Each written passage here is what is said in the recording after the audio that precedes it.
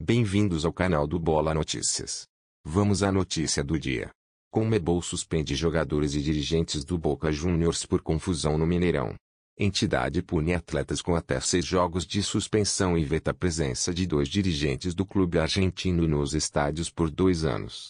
A Conmebol anunciou as punições ao Boca Juniors em razão da confusão no Mineirão depois da eliminação da equipe argentina da Libertadores diante do Atlético MG, no dia 20 de julho. A entidade puniu duramente jogadores e dirigentes do clube argentino.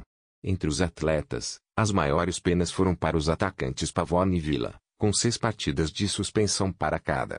Entre os dirigentes, os ex-jogadores Cassini e Delgado, ambos integrantes do Conselho de Futebol do Boca, receberam pena de dois anos sem poder entrar em estádios.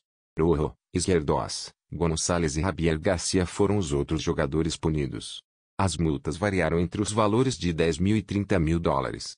No dia 20 de julho, membros do Boca partiram para cima de seguranças do estádio e de integrantes da delegação do Atlético MG. Grades de proteção, bebedouros e garrafas d'água foram utilizados no confronto.